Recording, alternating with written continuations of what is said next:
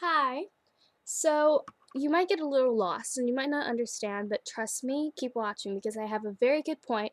and some of you might already have heard of this, but some of you might not have. I just found out about it and I just thought that I'd like to reach out about this topic because it's really important. So, you're going to get really confused, but trust me, I have a point.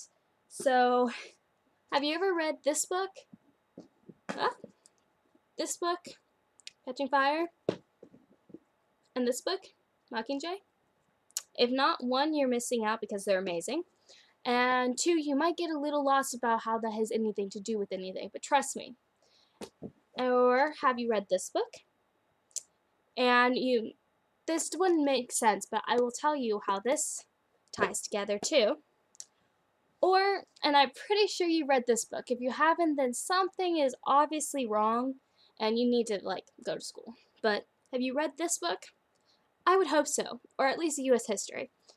If you haven't, then I would I would recommend an education. It sucks, but you will be thankful someday. But anyways, how this all ties together is because something, especially in this book, that shows is getting your beliefs out there and having a voice. And especially in this, it's about rebellion, but that's not really what I'm talking about. But it does say a lot about going out for what you believe in and stopping an injustice. So this teaches a lot about it. All three books. It all ties together.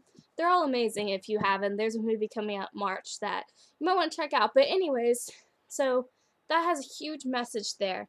A lot about governmental things and getting your voice out there for what you believe in so that the government doesn't trample over you.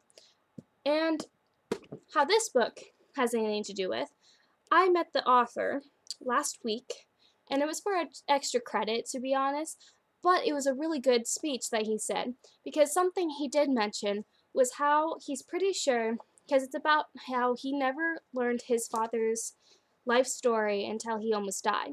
And his father's from World War II, and he actually played baseball with prisoners from the German um, submarine army or navy or something. Um, and he so it's about his father's journey in World War II.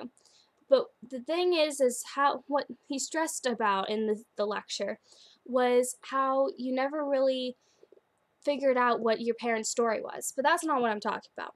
What I'm talking about is his point. He made a really good point. He said that there was two incidents in world in U.S. history, the Civil War and World War II, that was so brutal and really horrible that that generation completely stopped talking. Never told their kids about it, never really talked about it, so we never really got that history until now. If you've noticed, a lot of Holocaust stories and a lot of different stories like that have been coming out now for our generation because they're finally starting to get the stories from their kids um, who wouldn't get it until like their deathbed. But what he breached was that when he like that that generation didn't really talk.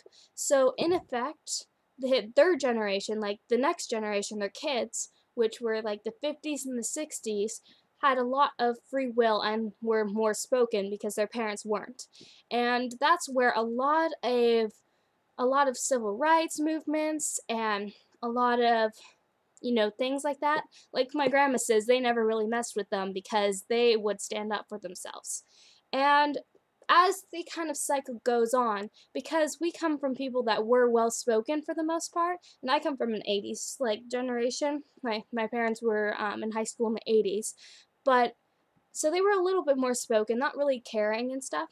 But we kind of are quote the don't care generation for the most part, and we don't really go for what we want too much. We kind of like, oh, hmm, we'll deal with that later, you know?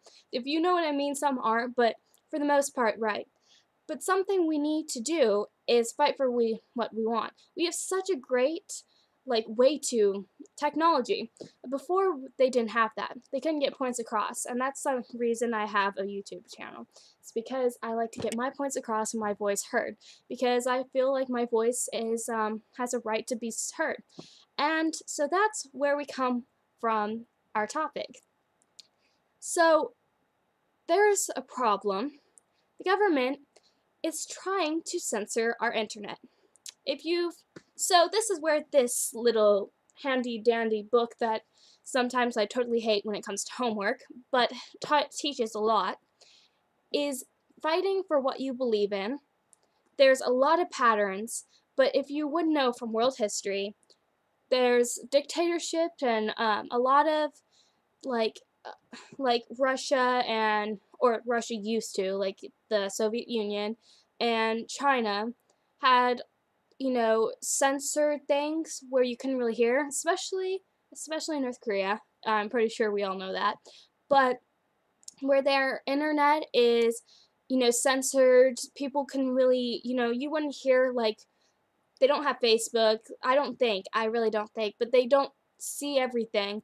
And so they don't know that they're, you know, being run by communists and that kind of stuff and what they're doing. And the USA is trying to do that to us. Not the, you know, communist part, but they're trying to censor our internet. So something like this video would not be able to be seen. And do we really want that? We are such freedom people. Isn't that what USA is?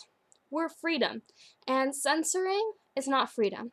If you've ever read Fahrenheit 451 by Ray Bradbury, Bradbury, that's another book we read in English, his book got censored, and the whole book theme was censorship and how it's wrong.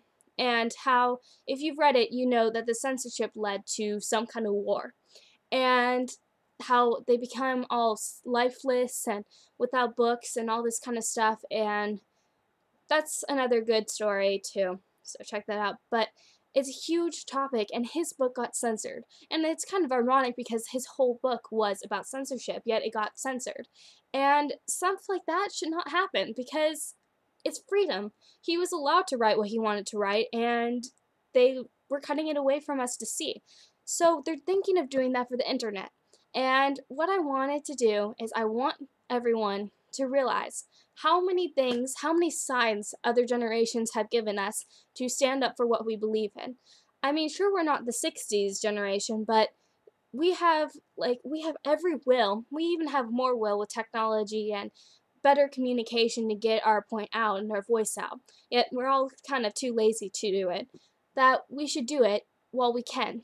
Um, we might. I've just found about found out about this now, and they were I think they were having some voting on the bill today, but it's not too late. It's never too late. So even if it did get approved, it's still not too late. There is going to be some way that we will stop this because that's not freedom. As much as, like, you know, they try to say it's still freedom, it's not freedom. And that's what the USA is for. It's total freedom, and that's not right at least in my opinion. Everyone has their own opinions, but if you agree with me, please, please help.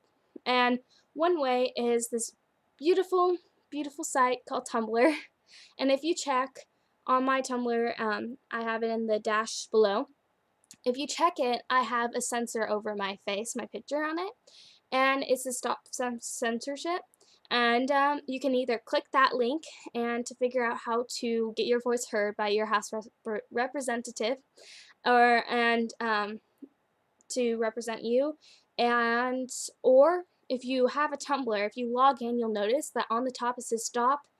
Wait, let me move this so I can read it. Stop the law that will censor the internet. And if you click that, then it will. Um, some people on Facebook have been saying stuff and on Tumblr and YouTube and stuff. So you might have already heard about this, but if you haven't, I would just like to get the word out so that you can help because I say we make ourselves like the 60s movement. Like, you know, we have every opportunity to. So why aren't we? We even have more opportunity. They did not have the technology and the ability like we. We have really good education now, at least at my school I know, and so why aren't we?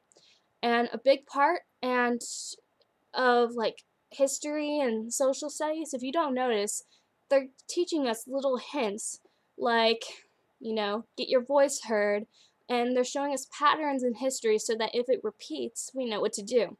That's what history's for. I know it seems pointless when you do it but it's teaching us that. So help out Um, comment what your opinion is and any way you can help out at all and check out my Tumblr or you know all that or just I guess you can Google it and find it and the link or anything but yeah.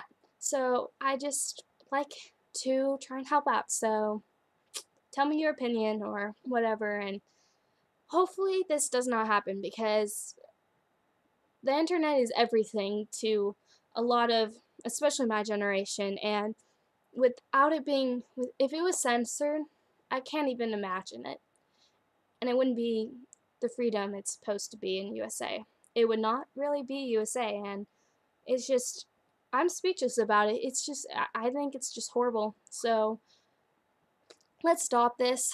Please help out as much as possible.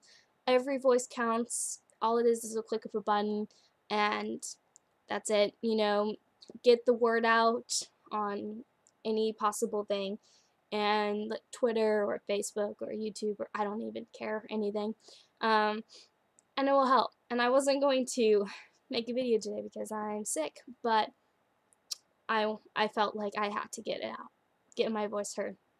But yeah thank you for watching and please help